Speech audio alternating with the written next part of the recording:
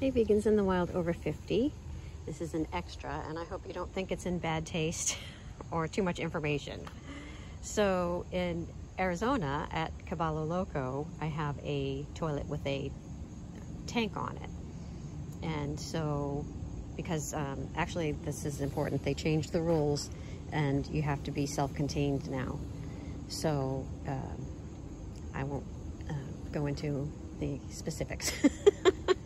anyway, you can tell I'm embarrassed about this.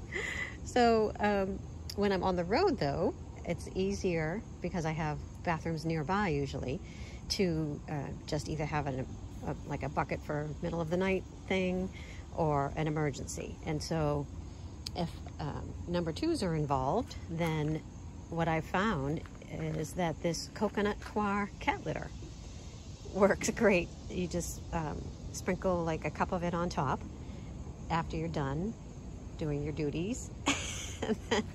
it doesn't stink. Uh, of course, you still have to, I change it every week or, or as, as required. But um, this actually was in my car top carrier and got soaking wet in Gettysburg. So it's drying out now. It's, you know, clean. So once it's dry, it can be reused. I did not get the block because then you have to soak it, shred it, and then dry it. So this, wish I could remember what it's called. It's a black bag with a, like, green writing, and it's a cat litter that you just have to stir. It's This particular one is no clump.